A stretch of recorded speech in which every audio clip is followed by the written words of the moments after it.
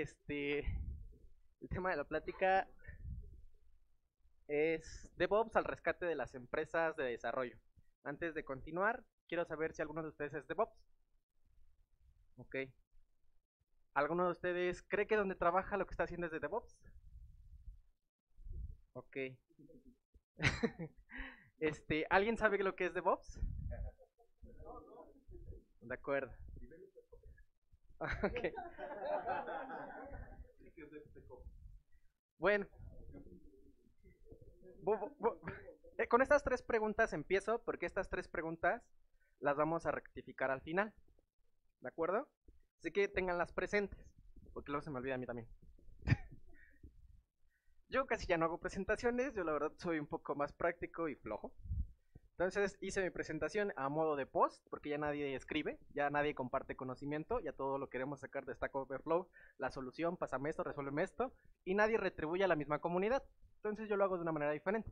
Para no subir mi presentación, porque como me caigan los sliders, perdón, me molestan mucho, yo prefiero escribir un poco el contenido y para que sirva para futuras generaciones, me pueden comentar, trolear, háganme lo que quieran. Yo en algún momento de mi vida fui papatol, así que si me trolean ni me afecta. ¿Vale? Se me resbala.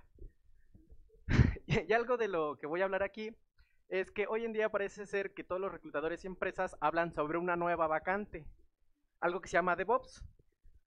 Como ya hay de todo, hay diferentes precios, precios muy irrisorios, precios muy extravagantes. Si ustedes revisan ya la bolsa laboral, hay cosas que te dicen que te quieren pagar 15 mil pesos, otros mil, mil euros, diferentes precios, ¿no? Y uno dice, pues, ¿qué, ¿qué hace un DevOps, no? O sea, ¿por qué o es tan bajo o es tan alto? ¿Qué sucede?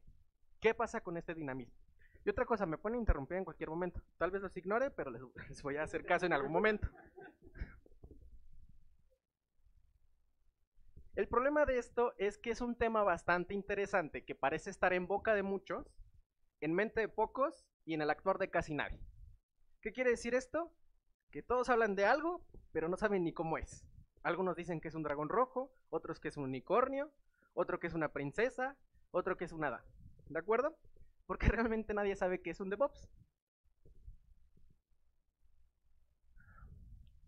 Pareciera que este nuevo puesto, hago el entrecomillado porque pareciera ser nuevo, es un nuevo puesto, una persona, una nueva habilidad, un nuevo conocimiento mágico y secreto que nos enseñaron en Harry Potter.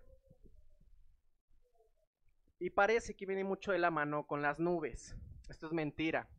Esto es una vil mentira. Lo único que ocasionó esto son certificaciones carísimas que te dan AWS, Google Cloud Platform, Red Hat llegando aquí, y alguna otra plataforma donde ustedes me quieren decir, son los gandallas que se han puesto a vender este tipo de certificaciones para DevOps, para esta persona, de manera individualizada, ¿de acuerdo? Esto es una verdad y una mentira a medias, o sea, el vaso lleno me... ¿Sale? ¿Por qué? Ahorita vamos a llegar a ese punto. No todo es atacar y entregar. Voy a decir los porqués. Ah, ah, ah. Pero entonces, ¿qué es o quién es un DevOps? Yo realmente conozco a muy pocas personas que les puedo decir que son DevOps. Para llegar a este argumento, les voy a decir qué soy. Yo soy un arquitecto de software. No como tal me dedico a lo de DevOps. Sin embargo, en mi rubro y en mi amplitud de conocimiento, tengo que interactuar con muchas personas en muchos momentos, en diferentes frecuencias y en momentos estratégicos de ciertas decisiones en TI. ¿De acuerdo? Entonces, si no es quien es, ahora tampoco quiero decir que alguien no puede ser un DevOps. Lo que sí le quiero decir a alguien es que si quiere ser un DevOps, y si quiere contratar cursos de ser experto en 5 horas, en 3 horas, en 4 horas, llámese aplicaciones como las que no voy a decir, porque me caen mal, este, no te van a servir. Esas son mentiras. O sea, no te vas a hacer un DevOps eh, tomando estos cursos. Eso es una farsa. Es como esos cursos de te vas a hacer eh, un, un, experto en, en Java, o en JavaScript, o en HTML, o en Linux. No, es mentira. Está bueno intentarlo, pero eso no te va a acercar ni tantito a ser un DevOps. ¿De acuerdo? Más que nada, un curso de 128 horas, eh, no. Lo, se echan más horas viendo una serie. La verdad. yo creo que son más expertos en alguna serie. O sea, cuando alguien me dice, estoy echando un curso, le digo, Netflix no cuenta. Son, llevan más horas reproducidas en Netflix que realmente en conocimiento. ¿De acuerdo? Entonces, aquí les dejo un, eh, un enlace interesante en mi blog para que lean, por ejemplo, un artículo de, habla de un experto de, de Google que dice por qué el afán de querer ser experto en tiempos muy reducidos. Él habla que lleva casi 10 años programando y aún así no se considera un experto. Un ingeniero bastante bueno. Hace un poco el contraste. No es afán de... Bueno, sí es afán de romper corazones, pero no solamente eso, sino de empaparse un poco de la realidad. De lo que realmente sí sucede y lo que tenemos y lo que no tenemos. Así que dejaré esto, que ustedes lleguen a una conclusión de que si estos cursos sirven y los vuelven expertos. Ahora, para mí, ¿qué es un DevOps o lo que realmente es un DevOps? DevOps es un cambio de pensamiento, una vuelta de tuerca, algo que implica un cambio en, la forma organizacional, que impacta la cultura, el proceso, ejecución y lo más importante, a las personas. Si una empresa empieza a implementar DevOps y no hace nada de esto, no está haciendo nada más que cambiarle el nombre al puestecito. En vez de decir sysadmin, ahora dice DevOps. Eso no es un cambio. Ese no es un cambio ni en su proceso ni en la ejecución. ¿De acuerdo? De lo que hablamos en la ponencia pasada, toca mucho este tema de DevOps. Es un extracto muy pequeño, pero es necesario en ese proceso de DevOps. Ahora, si nos vamos a lo que dice Wikipedia, nomás por el afán de que la la gente no me cree, no lo voy a decir todo, pero es el acrónico de Development, Desarrollo, Operation, de Operación, y es una práctica de ingeniería de software que tiene como objetivo unificar el desarrollo de software de y la operación del software, Ops. La principal característica del movimiento de DevOps es defender enérgicamente la automatización y monitoreo de todos los pasos de la construcción del software. Aquí me voy a tener. La automatización, ¿cómo la logramos? Con las herramientas como las que nos estaban mostrando. Pero esa es una parte muy pequeña. Muy pequeña. Casi nada. Automatización y monitoreo de todos los pasos. Nos faltó la parte de monitoreo. El monitoreo es muy importante y a la mayoría de las empresas les vale cacahuate. Por eso luego no saben ni qué hace su sombra. ¿De acuerdo? Ah, en la construcción del software. El software es la clave. El que paga todos nuestros salarios es el desarrollo de algo. Nuestra empresa sacó un nuevo producto. Red Hat sacó una nueva versión. Releases más tempranos. Parches más completos. La nueva versión de tu juego. Eh, bueno, a mí me gusta jugar videojuegos. Red Redemption Online. Está en versión beta. Me gustaría que aplicaran esto y fuéramos en una versión más estable. Sin embargo, no lo hacemos. Es a lo que me explico. Es un concepto, no una realidad. ¿De acuerdo? Eh, desde la integración, las pruebas, que en algunas empresas esto no existe. Es así como que integración y producción. La liberación hasta la implementación y la administración de la infraestructura. Aquí es donde viene este conjunto. Muchos a lo mejor son sysadmin. Aquí es donde viene esta involucración, la administración de la infraestructura. Si se dan cuenta, lo que están siendo es parte de un algo, no un quién. ¿Sale? El DevOps apunta a ciclos de desarrollo más cortos, mayor frecuencia de implementación, lanzamiento más, más confiables y en estrecha alineación con los objetos comerciales, o sea, dinero, quien nos paga. ¿Y aquí le interesan a los comerciales? Oye, ¿podemos hacerte un software más rápido que él? No, no es cierto. A ver, IBM, Linux, Microsoft, quien ustedes quieran. Este es el concepto. ¿Sale? Vamos a seguir desmenuzándolo.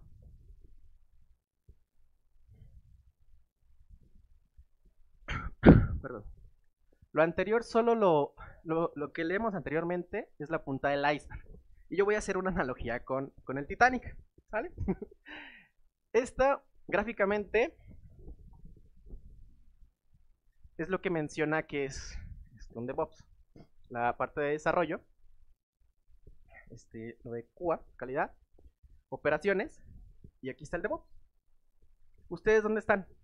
No me respondan, pero ustedes imaginen dónde están. Algunos van a estar de este lado, algunos van a estar de este lado. Dudo mucho que alguien sea un comercial por aquí, que ande en operaciones, si anda por aquí, pues anda perdido. Y se supone que algunos quieren llegar aquí. ¿De acuerdo? Ese es el, intento. Bueno, esto es la punta del iceberg. Que va a hacer que este Titanic llamado DevOps fracase. Porque es un concepto muy abrumador, muy bonito, pero que carece de muchas bases sólidas.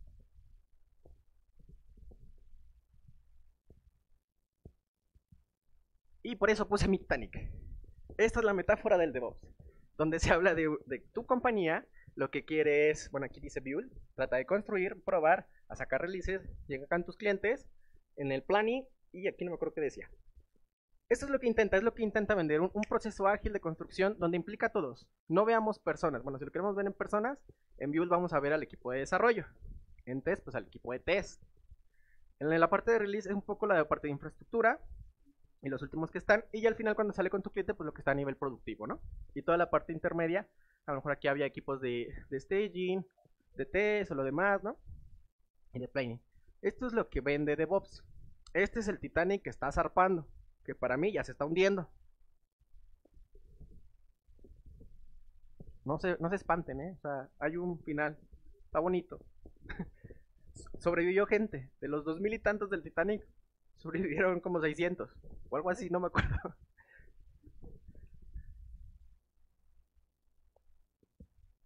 Bueno, ¿qué es lo que pretende esto? Pretende hacer una combinación de filosofías, culturas, prácticas herramientas que incrementen la capacidad de la organización de proporcionar aplicaciones y, servicios a gran velocidad.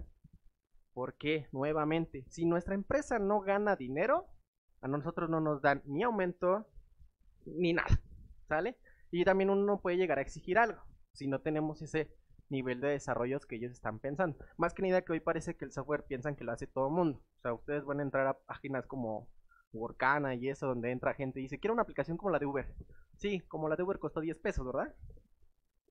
No, son cosas sencillas, son cosas complicadas que llevaron un desarrollo. Llevan, tienen un grupo de gente experta en diferentes áreas, rubros, ambientes, para llegar a eso.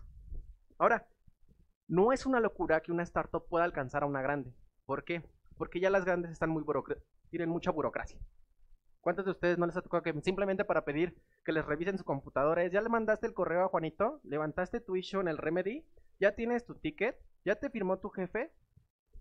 Ok, yo entiendo que la burocracia es parte de... Pero en un mundo de TI, la burocracia no funciona. Donde cada día salen aplicaciones y es una guerra continua de ya tiene un nuevo issue, tiene una nueva característica, empresas se compran a empresas, bancos se compran a bancos, y no es el que tenga el más dinero, Realmente no. Muchos piensan que porque lo sacas primero vas a abarcar el mercado. Mentira. Yo recuerdo que cuando Chrome sacó su navegador, todo el mundo decía, ¿para qué? Ya está Internet Explorer, ya está Firefox, está Opera. ¿Para qué otro navegador? Hoy en día, ¿qué navegador usan? Explorer. Bueno, ya cambió de nombre, ¿no? Pero ustedes, su cliente final, ¿qué usa? ya ni existe. Ya, ya por fin Microsoft forzó y lo quitó. Y ya incluso Microsoft ya desistió de hacer navegadores. ¿Y qué va a hacer? ¿Va a tomar totalmente el motor de Chrome? No, lo va a tomar completamente. Ya entró en conversación con ellos para tenerlo. ¿Por qué? Porque se está dando cuenta que yo no estoy siendo ágil en un navegador que cada vez que hago uno me equivoco otra vez. Y otra vez, de la versión 6 a la 7 no tiene nada que ver y de la 7 a la 8 nada que ver. Y se dan cuenta es ese problema que quiere solucionar esto. Generar un nuevo release y evitar el miedo de que cuando haces un nuevo release lo haces peor que el anterior. O sea, el 8 era peor que el 6. ¿Por qué? Por muchas cosas que técnicamente no vale la pena explicar. Pero en toda esa infraestructura, en todo ese desarrollo, había gente involucrada sysadmin, gente involucrada de staging, de, de levantar los procesos, todo lo demás. ¿Vale? Ya más o menos les estoy tratando de descubrir a dónde va este sentido. No es un no es un quién, esto es más un qué. Entonces, en palabras mortales, ¿qué es lo que quieren, que quieren las empresas con DevOps? Porque este, este planteamiento sí vienen de algunos expertos de TI, pero fue muy bien adoptado por las empresas porque genera dinero. ¿Qué quiere decir esto? Si ustedes trabajan más rápido, más dinero gano yo menos horas les pago a ustedes. O sea, no es lo mismo que yo pague 40 horas de desarrollo y de ambientes y todo lo demás, a que ustedes me dicen que con esto lo voy a hacer en 20 horas. La ganancia es mía, empresa. Ustedes no, pero para mí sí. Lo que va a hacer es que entonces tú trabajas más, me generas más, gano más. Entonces eso es lo que busca esta, esta idea. Es lo que busca en palabras llanas. Si tú me generas un desarrollo más limpio, más más ecuánime, más, más cimentado, mis ambientes ya no me cuestan tanto, mi infraestructura ya no tengo que, por ejemplo, no, no sé si a ustedes les ha tocado, pero una vez a mí en Banorte me tocó que quisieron implementar un producto que se llama SAP HANA. No sé si lo conocen. Este producto consume recursos. Y el que estaba antes de que yo llegara no tenía idea de lo que estaba pasando. Entonces pidió unos ambientes así levantados en instancias virtuales. Llego yo le digo, oye, ¿qué te pasa? Eso para pruebas funciona. O sea, tu ambiente local funciona. Localmente necesita 128 GB en RAM y no sé cuánto de procesamiento para que levante nada más. En productivo necesitamos pedir una appliance. Una máquina de HP certificada y aparte tiene que ser certificada tanto por SAP y por HP para que te validen la garantía. ¿Se dan cuenta que eso siendo de infraestructura hay que saberlo? Y yo, yo siendo de desarrollo, yo arquitecto de software lo sabía. ¿Por qué lo sabía? Porque yo si me vendo como experto en un área debo de entender todo lo demás. Y yo entendía que para vender ese producto necesitaba ese hardware. El que estaba antes de mí no lo entendía. Se lo hizo fácil. ¿Y saben qué, qué cara puso mi jefe cuando le digo, necesitamos una appliance de 3 millones de pesos? Lo bueno es que tenía un remanente el proyecto, pero ese remanente se fue. Lo que dijo que se iba a ahorrar, no se ahorró.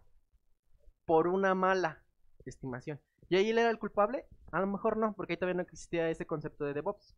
Pero se debió de haber acercado a alguien a infraestructura o de decirle, por lo menos leer la ficha técnica que dice SAP HANA para ambientes productivos y certificado por el SAP necesitas equipos de esta y tiene una listota. HP, este, Intel, la, la. Y son equipos caros, son baratos. ¿De acuerdo?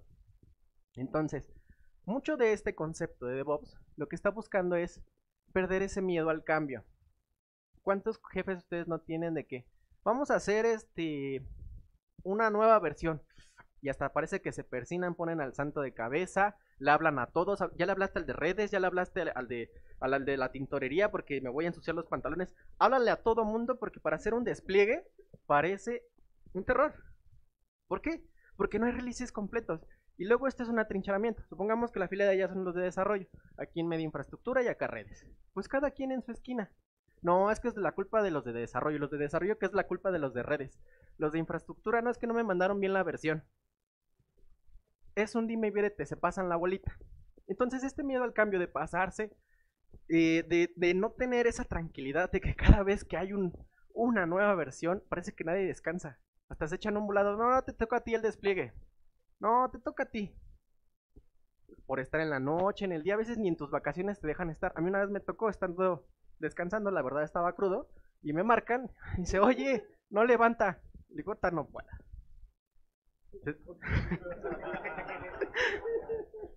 Suele pasar, ¿no?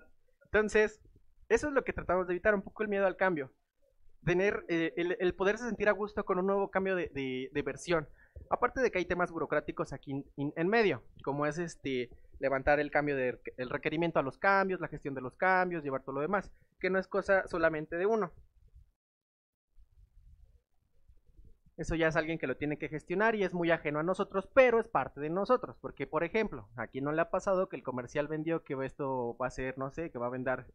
Es que tu impresora va a sacar en 3D una tarjeta. Dices, bueno, cuando existe esta tecnología lo hacemos, pero ahorita no está. ¿Sale? Entonces, mucho de este concepto también agrega un poco a ellos, no tanto, porque en el sentido comercial, lo que les digo, lo que está buscando es reducir tiempos de desarrollo, pero los comerciales lo están haciendo de manera errónea o lo están tomando de manera equivocada. Reducir los tiempos no quiere decir que si antes me tardaba hacer el desarrollo de software nueve meses, ahora lo voy a hacer en ocho. No. Lo que quiere decir es que a lo mejor me tardo nueve meses en desarrollarlo, pero ya no me voy a tardar otros ocho meses en implementarlo y ponerlo en producción, que es en el momento donde gano dinero. Lo que quiere decir es que esos ocho meses los voy a reducir a lo mejor en cuatro. ¿Para qué quiere decir? Que ya en un lapso completo, en menor tiempo, ya va a salir en producción y me va a dar ganancias.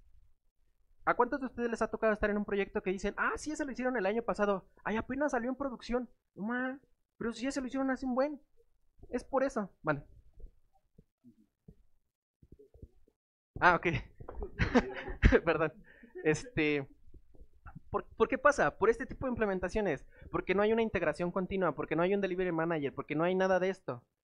Porque todos nos ponemos en una esquina a decir, no es tu culpa, es tu culpa, es el de redes, es que no lo pidió, es que no sé quién. A la empresa al final no le importa. ¿De acuerdo? A ella lo que le interesa es que salga el producto. Si es la culpa de uno o del otro, no es de su interés. Entonces, esta idea lo que vende es un poco eso. Ahora, despliegues arriesgados. Es un poco lo que estaba mencionando. Cuando todo el mundo se pone, es que si va a salir, no va a salir. Pero sí, ya lo dije. Ahora voy a decir uno que todos los que estén en sysadmin lo han escuchado en programador. En mi máquina sí funciona. Y que no lo haya escuchado, entonces no ha trabajado lo suficiente. Esto es típico y es normal. Pero es una cosa muy normal. Es como si queremos comparar en mi, en mi Ferrari si jala y mi bocho si jala.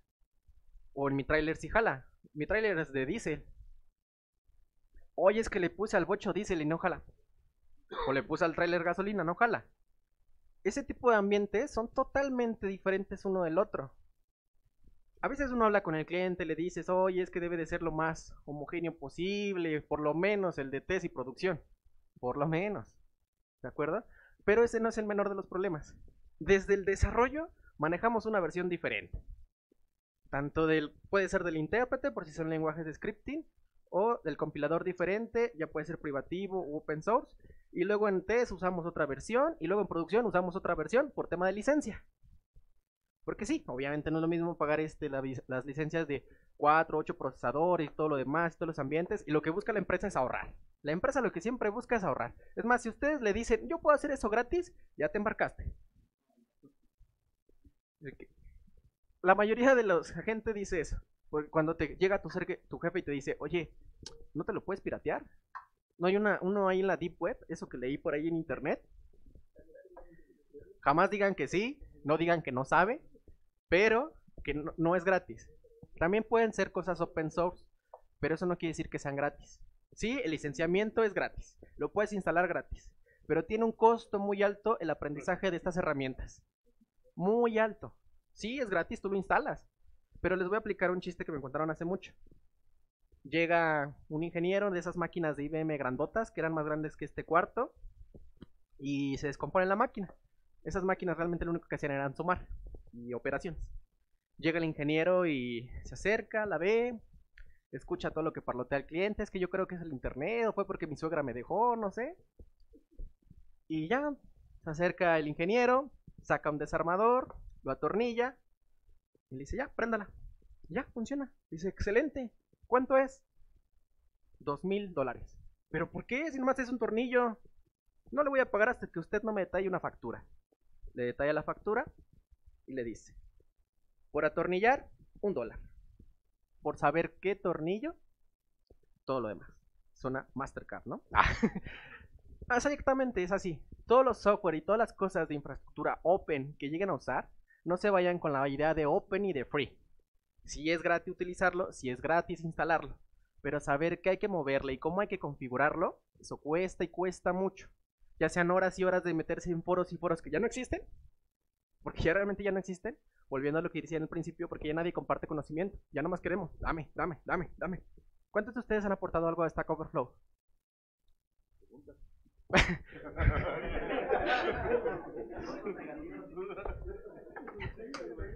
es parte del aporte, es parte del aporte, pero hay que aportar conocimiento. Por ejemplo, ¿algunos de ustedes ya saben que hay una versión en español? Ya pueden, ustedes implementar. Yo conozco a muchos amigos que dicen, no, es que yo no he aportado porque yo no sé inglés. Bueno, está bien, ya no existe esa excusa. Ahora ya ustedes pueden solo decir, bueno, yo sé cómo se hace esto con Dockerfile. ¿Realmente alguien lo ha hecho? ¿O algo que ha encontrado lo ha publicado? Está bien, a veces es tedioso tener un blog, es muy tedioso. Ya pasó el boom y la moda de, ya viste mi blog, ya viste mi blog. Perfecto. Pero pueden subir ese conocimiento a este tipo de herramientas. Porque si alguien lo compartió, ustedes, ¿por qué no? ¿De acuerdo? Ya, se bloquea. Que la seguridad. Ok. Ahora el tema que les decía de desarrollo, test y producción, pues pasa mucho esto, ¿no? De que los ambientes no son homogéneos, son complicados y obviamente esto complica mucho. Como una parte de sysadmin es obligación hacer ver este error. Que si el ambiente previos a producción no son similares, homogéneos o tienen alguna garantía entre ellos, porque lo que más, más pasado es, a lo mejor el software no es igual. Aquí pusieron un Tomcat y acá pusieron un WAS. Obviamente son productos totalmente diferentes. Y luego lo que más cambia es que aquí adelante de estos ambientes a veces existen balanceadores, existe un CDN, existe replicación, existe un clustering. Y en test no existe nada de esto. Obviamente en la máquina del desarrollador menos. Por mucho tiene un antivirus. Y eso cuando lo activan. Entonces por eso puede aplicar este de en mi máquina así funciona. Y no hay por eso hay que atrincherarse la parte de sysadmin o la parte de infraestructura contra el otro. Voy a llegar a un punto con esto. ¿Vale?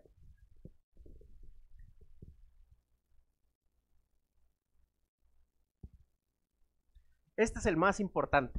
Yo lo llamé de esta manera porque en inglés tenía otro nombre, pero lo voy a poner como mi departamento, mi área, mi aislamiento.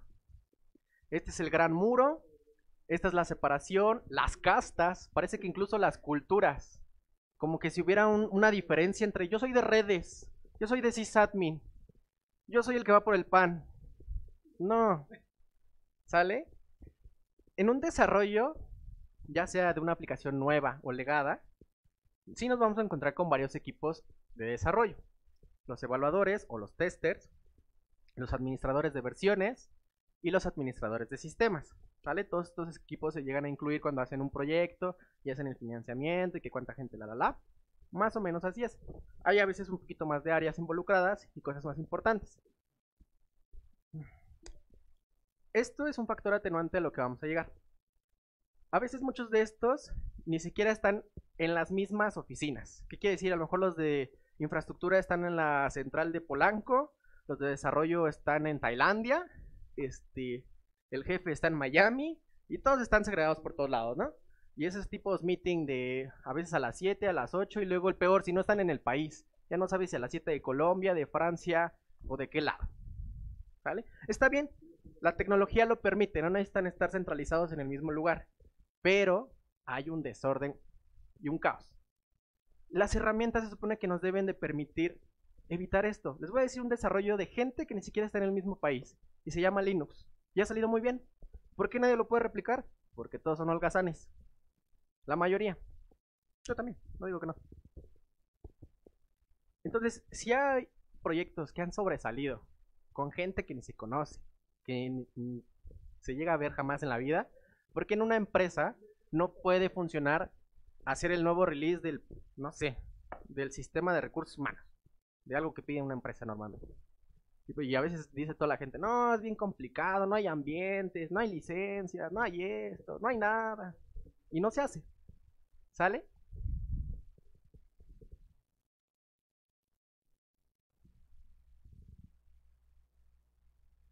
Ahora, la suma de todos estos factores lo único que logra es una mentalidad de nosotros y ellos.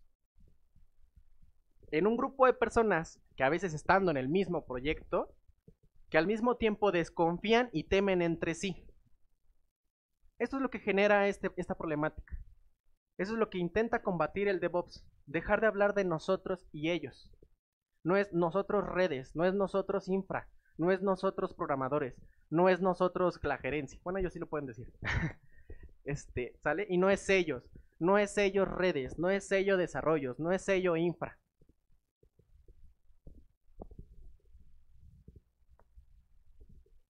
Este problema es el que intenta erradicar este pensamiento o movimiento de DevOps, fusionando no solo los equipos, sino en pensamiento. Lo que debe hacer es que los ingenieros trabajen todo el ciclo de vida de la aplicación, que es desde el desarrollo, las pruebas de implementación y la operación. La operación, ¿qué quiere decir? Cuando está puesta en producción, cuando está funcionando, cuando ya está haciendo las cosas de verdad. Esto debe ser en conjunto y no hay aislamiento, para así desarrollar habilidades no limitadas a su única función. Este es el truco de DevOps. No por decir que soy especialista en esto, ay, esto no lo voy a hacer porque a mí no me toca. No. Eso no lo puede hacer un DevOps. Y más que nada es el departamento de DevOps. No es una persona de DevOps. Porque se hace un conjunto y la suma de conocimientos para poder llegar a esto. ¿Y esto qué va a dar? Va a dar una mayor agilidad. Porque ahora ya vas a ver el desarrollador que a lo mejor tiene que mandar las cosas por cierto protocolo y lo ignoraba porque jamás había hablado con el de redes o con el de infraestructura. Y al revés el otro. Se va aprendiendo. Ya sabes que cuando te manda un null pointer exception, ya te está diciendo el de programación que está haciendo mención a algo que no encuentra. No necesitas saber resolverlo tú, pero ya más o menos tienes una idea. Esto es lo que busca esta mentalidad. Hacer y crear habilidades que no sean limitadas a tu única función o a lo que tú crees que te especializaste. Eso ya no le interesa a la empresa.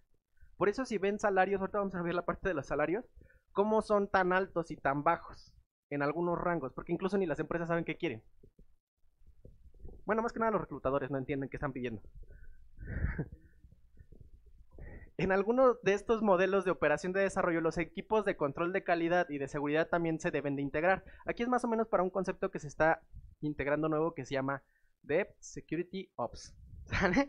Que para mí es otra cosa de lo mismo, pero está eh, eh, iniciando este proyecto. Lo que está tratando de plantear es sumar más gente a este equipo y decir, bueno, a ver, expertos de seguridad, aquí hay seguridad de diferentes niveles. Seguridad a la hora de desarrollar, tomar, saber qué tipos de variables y seguridad a la hora de implementar ciertos ambientes. Si le quito el C Linux, si no se lo quito, si le pongo otro tipo de claves, si hago cifrado, por ejemplo, en, en, la, en el mito pasado hablaron algo de, de Paul, de una herramienta donde puedes centralizar todos los passwords y los vas liberando a las aplicaciones por medio de, llamadas API y tokenizadas. Está muy padre, pero es un concepto también muy nuevo. Toda esa parte de seguridad es importante y se debe de sumar porque debemos de hacer ya aplicaciones seguras. Más que nada como son web y están en línea, pues ya tenemos a cualquier chinito molestando o sacando. ¿Cómo fueron los hackeos de Spay? Muy sencillo. Muchas partes no estaban securizadas de punto a punto, no había enlaces de confianza. Y eso lo tenía que haber sabido el de integración. Tanto el que estaba del otro lado como el que estaba del otro lado. No tenía nada que ver con la programación. ¿Sale? Y por eso ya se está hablando de esta parte donde también ellos se deben de integrar. Porque el planteamiento es que si todos vemos la seguridad, pues es una aplicación más segura. Es como si todos somos felices, es un mundo feliz. ¿Sale? Así que el movimiento de DevOps se basa en un grupo de personas que creen que la aplicación de una combinación de, tecnología y actitud adecuada puede revolucionar el mundo de desarrollo y la entrega de software. Eso es lo que busca realmente ser DevOps entregar desarrollos más pequeños, más pequeños, más eficientes, más estables, más eficaces, con menor infraestructura, con mayor calidad, con mayor agilidad, con mayor escalabilidad. Los beneficios de estos es eso, velocidad, entrega rápida, fiabilidad, escalado, colaboración mejorada y seguridad. Eso es lo que buscan, es una, es una idea. ¿Sale? Y todo esto, si ustedes lo revisan, te lo va a vender Amazon. Amazon te dice, yo tengo otra certificación de DevOps. ¿Qué es lo que te implica? Sí, conoces varias partes de su infraestructura, cómo implementarla, cómo hacerla segura, entregar rápidas, pero al final son plantillas o supuestos usando su infraestructura que faltaría ver si se adoptan o se amoldan a tu organización, a tu empresa. Pero si trabajamos en empresas como gobierno, que apenas saben que ya pasamos de Java 6 al 12, pues es complicado que vayan a implementar este tipo de tecnologías modernas o este tipo de metodologías un poco más ágiles. Y otra de las ideas que integra esto, por ejemplo, ahorita lo que tocamos, infraestructura como código, es una parte muy pequeña sobre esta parte de DevOps. Está la integración continua, que a lo mejor cae sobre en esto, porque es una parte de cómo gestionar tu infraestructura, pero también vienen sentidos como microservicios. Este es un sencillo, un concepto muy básico. Que no se los vendan con que Spring, que Java. No tiene nada que ver eso. Microservicios entró en este concepto porque lo que hace es dejar de hacer aplicaciones monolíticas para hacerlas individuales, precisamente para que si se necesitan levantar ciertas partes, lo hagas sin estar tirando toda la aplicación. Solamente es lo mismo, pero separando las cosas. ¿Qué quiere decir? Imagínense como un Transformer, que a lo mejor estaba todo el trailer y ya nomás quieres quitar una parte y sigue avanzando. No quitas toda la aplicación, la bajas y lo que evitas es los shutdown. Lo que busca todo el mundo es evitar los tiempos de caída, reducirlos al máximo. Realmente tener una aplicación del 9.9% en un SLA, no sé si alguien conoce un SLA, es muy caro. Y el que me diga que hace aplicaciones de SLA del 9.9, lo invito a que me diga cómo lo hace porque eso es muy caro. Muy caro hacer una, una aplicación de ese grado. ¿Sale? ¿Cuántos de ustedes se le ha caído Gmail? ¿Se ha pasado? ¿Alguien más? ¿Facebook? Sí, ese fue poquito. Twitter se cae cada rato, así que ese no lo pregunto. Pero son aplicaciones de un flujo de, transacciones muy grandes que eh, a pesar de todo existen y están ahí. Por ejemplo, Twitter ya migró mucho de su infraestructura a Google Cloud. Por esa, esa parte de, de que la infraestructura está estructurada de tal manera que te permite separarla por regiones, por información. Amazon hace lo mismo. Y por eso aquí es donde ya viene mucho la interrogante de los DevOps. ¿Podemos o no podemos? Como la pregunta que hacían hace rato, ¿cómo paso yo mi, mi infraestructura que tengo, digamos, a la antigüita a estos nuevos conceptos? Es algo complicado, más que nada si tu organización no quiere cambiar la manera de cómo se gestiona y se estructura la información. O sea, si te dicen, no, a mí no me importa, yo voy a instalar todo sobre mi Windows 2000 o mi Windows Server no sé qué, con licencia caduca y no me interesa. Y pero todavía te pregunta, ¿y si viene un virus de Ramson, cómo le hacemos? Pues no te interesaba antes. No lo vas a poder ayudar. Porque precisamente es un cambio de metodología, de idea y de pensamiento.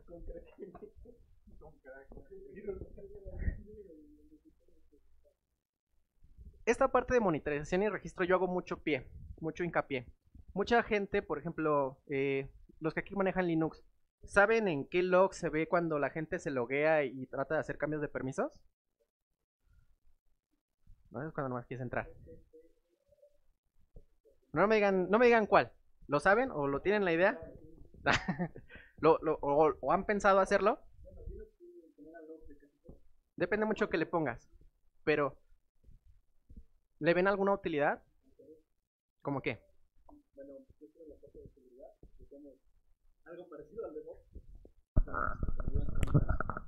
Y pues en la en la parte de seguridad lo que hacíamos era este estar revisando todos los cambios del, de las y todos los logueos de todo lo que hacían a los servidores que tenían para que no se comprometiera la información. Ok, de alguna manera auditaron. Pero...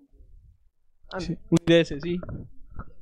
Que esto se podría a lo mejor que eso se podía limitar a a lo mejor si hubieran hecho algunas adecuaciones mejores. Como a lo mejor mm, si iban a modificar algunas carpetas, solamente permisos, eh, realmente modificar el sudo. Mucha gente le pone el sudo a su máquina y no sabe que se puede modificar de, a tal grado de decirle qué comandos sí, qué comandos no, eh, por qué poner sí, por qué no poner no. Ese tipo de personalizaciones son cosas que a muchos nos faltan y está bien.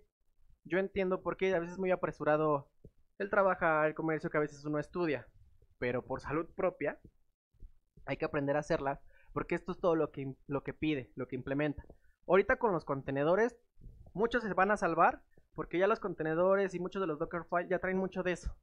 Ya se les puede configurar y todo. Pero incluso si bajan Dockerfile de sitios que no son seguros, hasta ahí un troyano les van a meter una puerta trasera. ¿Vale? O sea, no hay que confiarse de todo lo que hay en internet. Ni de todo lo que yo diga. Nuevamente, llegamos a la parte final relativa. Nuevamente se pueden preguntar, ¿son un DevOps o son partidarios de esta nueva corriente? ¿Qué son? ¿O qué quisieran ser? ¿Quieren ser DevOps o quieren integrarse a esta parte de ser DevOps? Ahora esto es lo que dicta la, la teoría. Vamos al mundo real y comercial. Obviamente todo el mundo quiere integrarse a cosas buenas y salvar el mundo a que no se mueran gatitos y todo eso. Este es un trabajo que hay que dice ingeniero en DevOps. Excelente. Dice ingeniero en DevOps para implementación de flujos. ¿Sabe de qué flujos estamos hablando?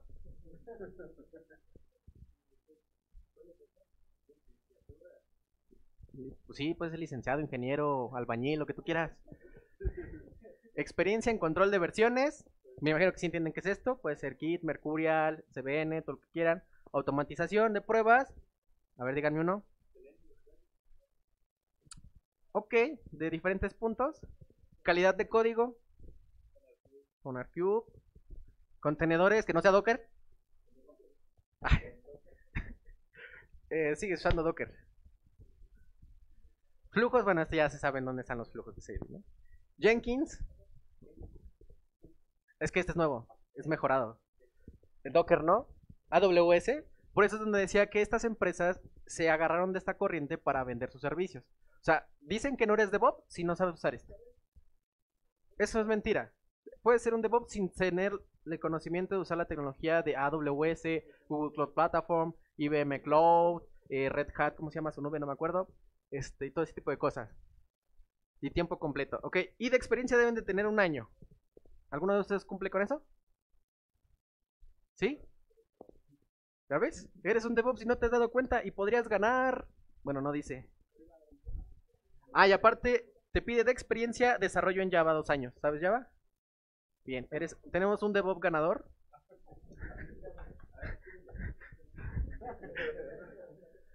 No, estas no son mías, ¿eh? las encontré en internet precisamente para mostrar lo que dice la, la idea. Y este. Este quiere otro ingeniero en DevOps, ser responsable para el aprovisionamiento, instalación, configuración, operación y mantenimiento de efectivos del software y de los sistemas y de la infraestructura. O sea, quieren que haga todo. Prácticamente, un todólogo. Es a lo que les digo. La corriente está buena. Las empresas se han equivocado y ahora quieren una persona que haga todo eso, que sea una parte de sysadmin, que sea desarrollador, que sea de redes, que sea integrador y todo lo demás. Y está perfecto. Pero para hacer todo eso, realmente deberían de estar ganando unos 60 mil, 70 mil pesos libres. Todavía me acuerdo de una vacante que decían, no, es que quiero que sepa toda esta parte y que tenga una certificación en Cisco y una certificación en AWS. Le digo, perfecto, ¿por qué están pidiendo eso? Es que el que estaba antes tenía todo eso y se fue. Por eso se fue. En el momento que tienes todo eso, dices, yo no solamente soy DevOps, ya nomás voy a cobrar por lo de AWS o por la de Cisco y separado y voy a ganar muy bien. Pero tener toda esta especialización está bien en práctica. No quiere decir que estos trabajos estén mal.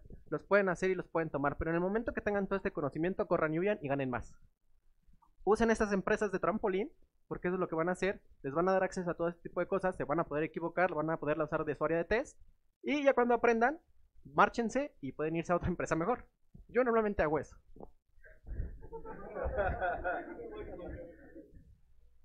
Y aquí, por ejemplo, los conocimientos en arquitecturas de TI. Por ejemplo, yo les dije que soy arquitecto. ¿Ustedes alguien sabe arquitectura de TI? No. Yo sí sé esa parte, pero no me interesa. A mí no me interesan las redes, sí sé de servidores, sé de sistemas operativos y sé de proxies. Y fíjense, tecnologías, experiencia en conocimiento en Java, yo sé Java, JavaScript, script no sé a qué se está refiriendo, pero me imagino que a Shell Scripting, Spring es lo mismo de Java, también sé base de datos, MySQL, Elasticsearch también lo sé, Tomcat, este sí no sé qué sea, OpenShift sí lo conozco, sí lo conozco, sí lo conozco. Si se dan cuenta, ya están abusando de lo que es un DevOps. Ya quieren una persona que les haga todo. Y estoy casi seguro que si les hablamos, te van a decir, ¿cuánto te pagan? 20 mil pesos, joven, y con prestaciones superiores de ley. Y una tarjetita para el gimnasio. Ah, esquema mixto. Ahora vamos a empresas, vamos a empresas un poco más serias en LinkedIn.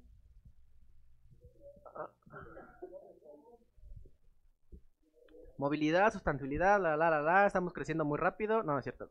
Ajá, no, sí, estamos creciendo rápido y en tu posición como ingeniero de DevOps garantizarás la mejor experiencia y movilidad urbana para nuestros usuarios, ¿ok? ¿Se dan cuenta? Es una empresa pequeña que quiere crecer. Sí, DevOps te ayuda a pequeñas startups a crecer, pero se están equivocando en la manera de pedirlo. Uh, uh, de startup ofrecemos salario base, bonos, la, la, la a objetivos. O sea, si despliega, ya ganaste. Si no despliega, no comiste. Así, creo que sí. En Ah, sí. asegurar la calidad de operaciones del sistema e infraestructura. O sea, no solamente el cómo se, maneja, no solamente el management, sino aparte la infraestructura completa. O sea, a lo mejor tienen una nube, que es lo más probable. No creo que ya nadie compre servidores. ¿Mande? Desarrollar nuevas funcionalidades. O sea, ahora te tienes. Ahora, mira, si te quejabas del programador en mi máquina, tú, mi sí funciona, la van a poder aplicar ahora los DevOps. En mi ambiente sí funciona, en el productivo no. Porque es lo que te están pidiendo.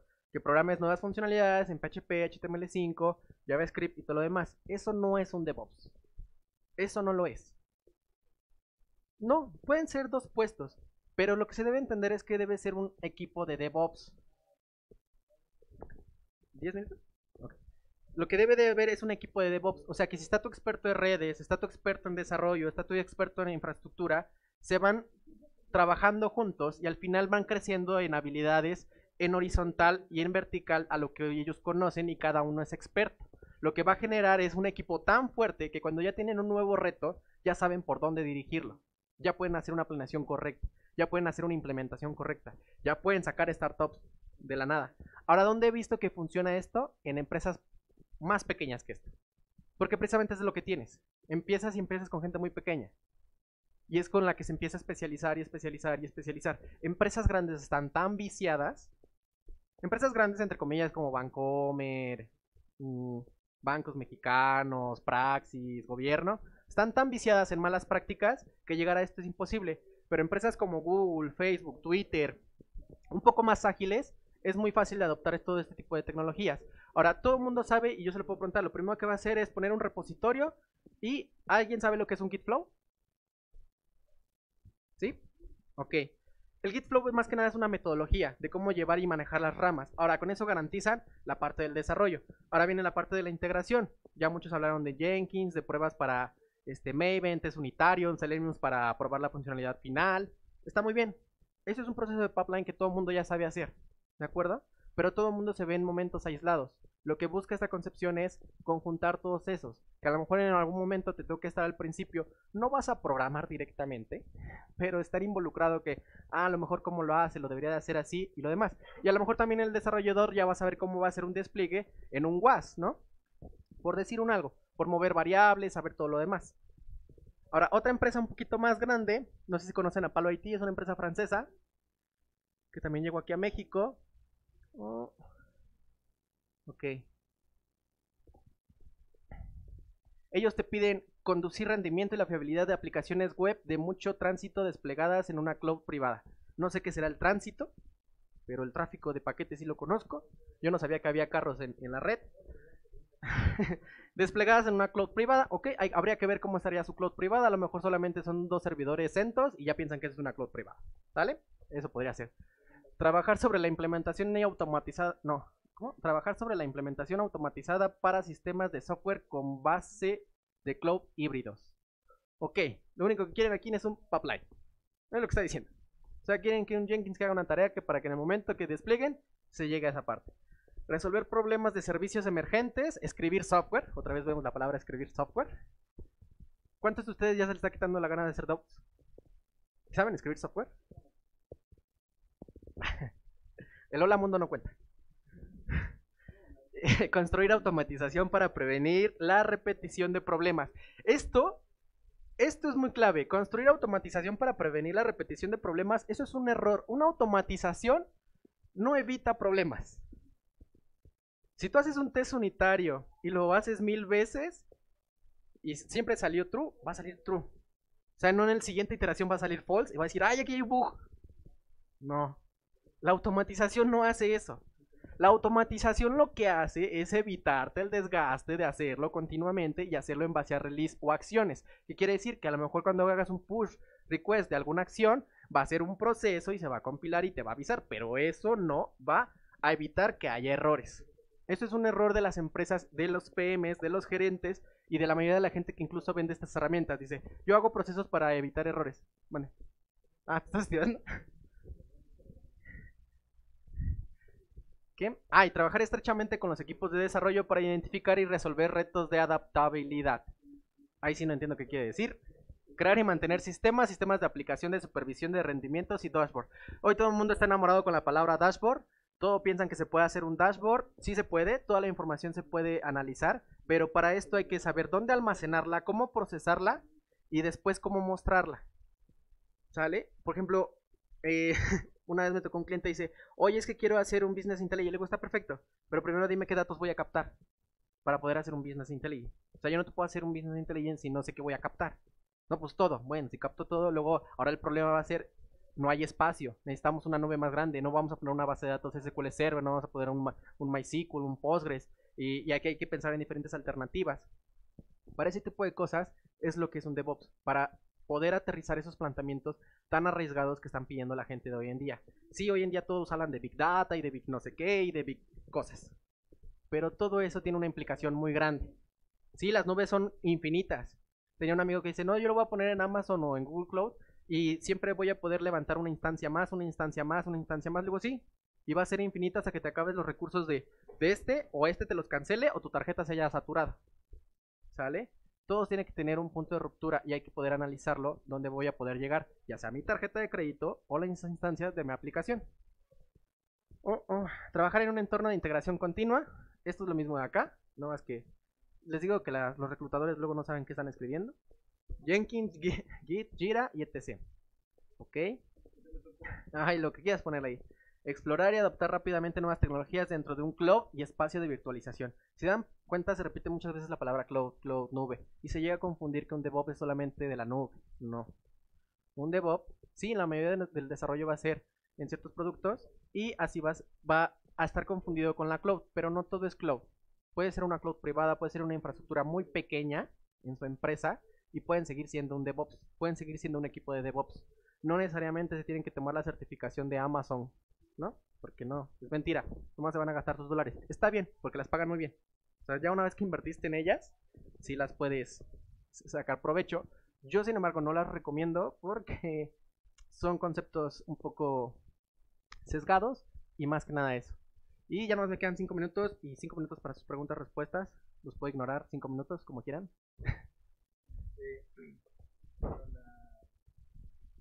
La, neta está muy chingón, o sea, está muy, muy me late un chingo tu, plática. La neta está muy, muy, muy chida, muy interesante. Y más que nada porque, bueno, pues yo soy estudiante, ¿no? Entonces, este, pues realmente conocer todo esto y más tu expertise que traes y todo, que nos compartas eso está muy, muy, muy chingón. Eh, yo lo que te, te, te, te, quisiera preguntar es, lo que mencionabas al principio, eh, eh, por ahí tienes el, link en tu, en tu blog mm. acerca de, de, esta persona que platicaba de, de durante los 10 años de, como desarrollador.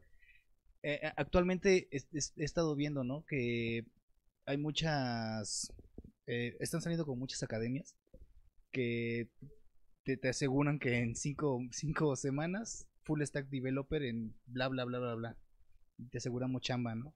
Entonces, eh, ¿cuál sería tu opinión al respecto de esto? Mira, me cae mal todas esas plataformas, pero este, lo que sí te puedo recomendar es que si quieres invertir, no lo saques en saco roto. O sea, si ya compraste un video, todo, sácale provecho, tómalo, sigue tú buscando en internet. Todavía hay más videos en YouTube de gente que lo hace gratis, a lo mejor en inglés. Eh, a veces muchos de ellos son eh, este, indios y va a estar complicado entenderles, pero mira, lo que si ves lo que hacen, vas a, vas a entender y lo más importante de todo esto es que si tú aceptas el reto, le digas a la empresa, ok, mira, sí no sé, o a lo mejor diles sí sé. Yo lo que hice mucho tiempo es decirles sí sé, no sabiendo, y me comprometí en hacerlo, y lo saqué. O sea, no llegué aquí porque todo lo aprendí. Mucho de ellos fue tomar retos, tomar ciertas empresas de catapulta, de que realmente no le podían pagar a alguien más, y yo dije que sí. Lo hice, lo aprendí, lo aprendí bien, y dije, bueno, muchas gracias, ya lo aprendí, adiós, la que sigue. Entonces, toma los retos al, toro por los cuernos. Las plataformas no son malas, pero son mentiras decir que vas a ser experto.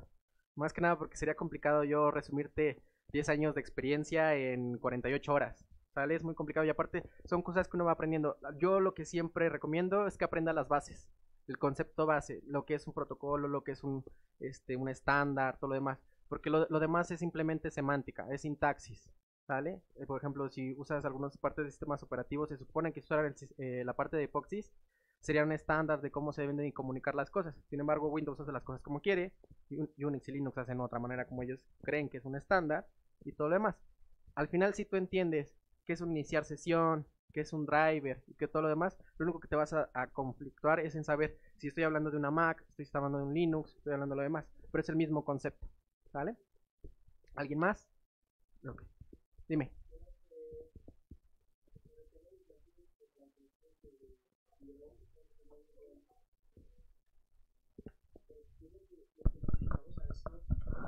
Los que nos dedicamos a esto, a pesar de que mi, mi descripción de, de trabajo dice que, y mi LinkedIn dice que soy un DevOps Engineer, yo por lo menos siempre me he considerado, desde hace mucho tiempo, desde hace 7, 8 años que me considero un sysadmin, pero casi que es una pelea perdida, a pesar de que sabemos que no es un rol, eso es una pelea perdida. Es como cuando la gente de la comunidad de la seguridad informática dice, trata de pelear con la cultura popular de que un hacker no es un delincuente, pero ya está así, eso ya es una pelea perdida y prácticamente hay que aceptarlo.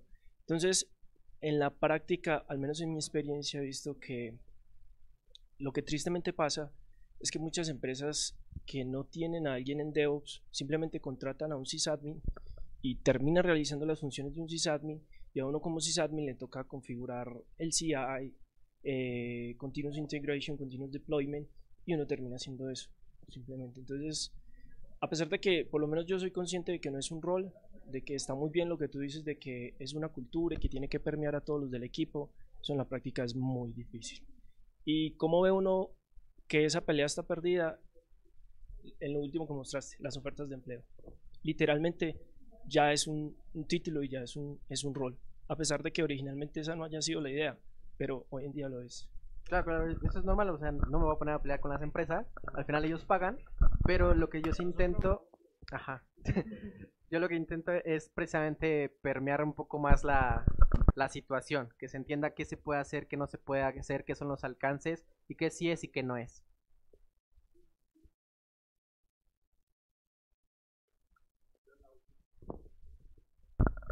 Creo que así funciona esta cosa. Eh, bueno, mi pregunta... eh, bueno, no llevamos mucho tiempo que nos empezamos a meter a esta parte de DevOps y lo que queremos es, o sea, convertir DevOps como tal en una metodología. No sé si sea lo correcto o no.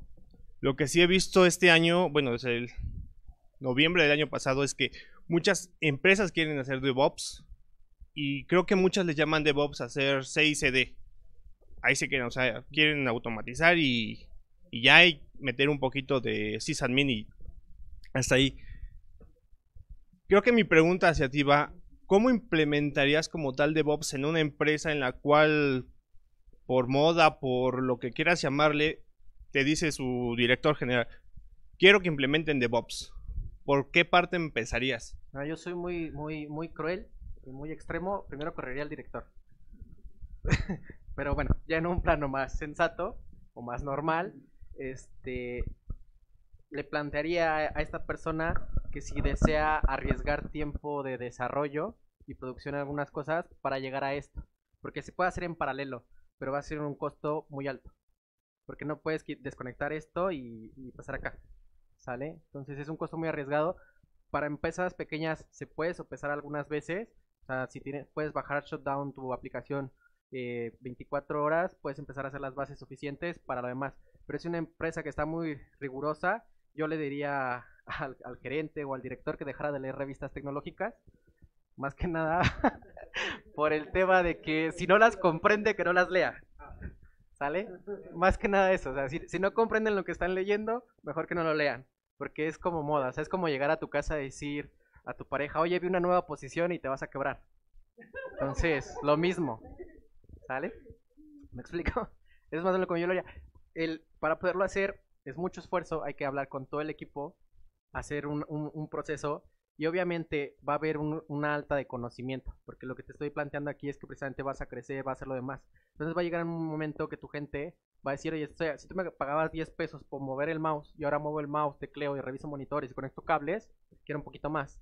Y si también te estoy dando a ti, empresa, eh, un poco más de rendimiento, porque ya no necesitas contratar expertos o horas de expertos, porque las horas de expertos son muy caras, ¿eh?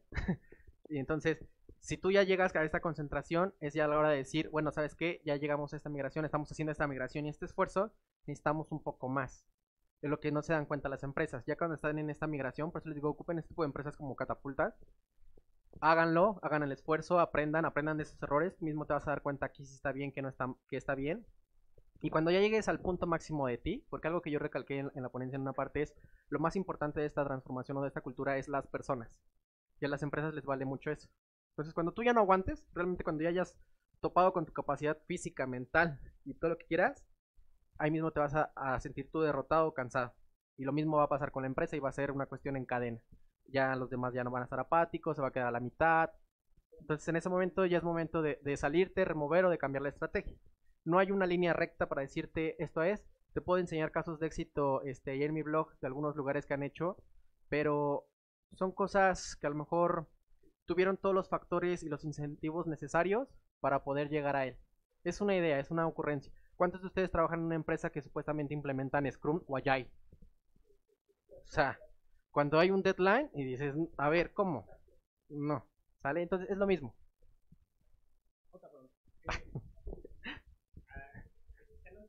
lo que también he visto es que gran parte de este cambio que dices es la gente. La, por eso dice que, hay que cambiar al director. No tanto la gente del director, sino la gente en la que dicen, pues vamos a implementar, ponle una meta, Scrum.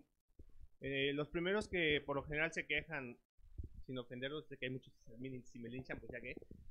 O sea, los primeros que se quejan son los sysadmin, sysadmin pero no los los que están este, actualizándose cada día. No, los viejitos. los viejitos. Sí, ya sé. Los que dicen, no manches, si le pongo un Linux 8, ya no, ya no voy a poder administrarlo. Entonces, lo que sí he visto en varios lugares, que desde ese punto de decir, cualquier cambio pequeño, decir de que es un contenedor, ya. O sea, ya están rebotando contra el que lo intenta definir, ya sea un arquitecto, ya sea un desarrollador, si lo quieres ver así.